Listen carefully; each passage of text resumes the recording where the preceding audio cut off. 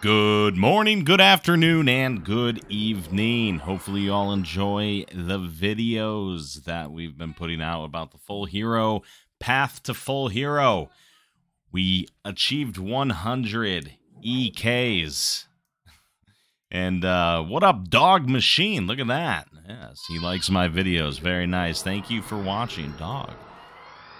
But uh, yeah, we achieved our 100 EKs and um, you know, I kind of want to mess around in Promised Land a little bit. I've been kind of itching to go back to a slightly lower level and just kind of have some fun, maybe get some more EKs. And there's a lot of blue names that are running around D2, and they just, I can't get an EK at level 140. So, you know, if I stick around like the level 100 area for a little bit, maybe that would be okay and I don't know, maybe we'll see what happens. But um yes, without further ado, here are some clips for some recent EKs prior to us going to Rebirth. Enjoy.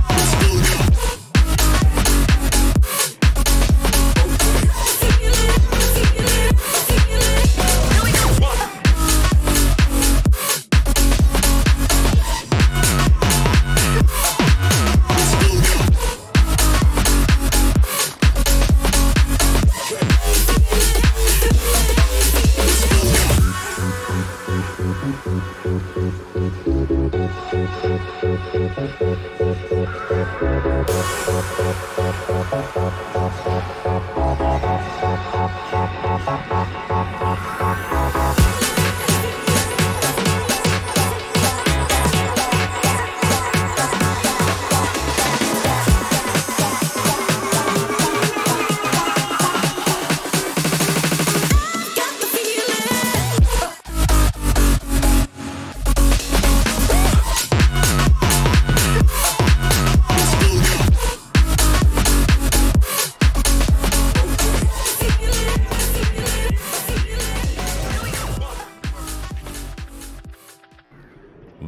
end that EK spree at 113, so that's a plus 13 from the last video.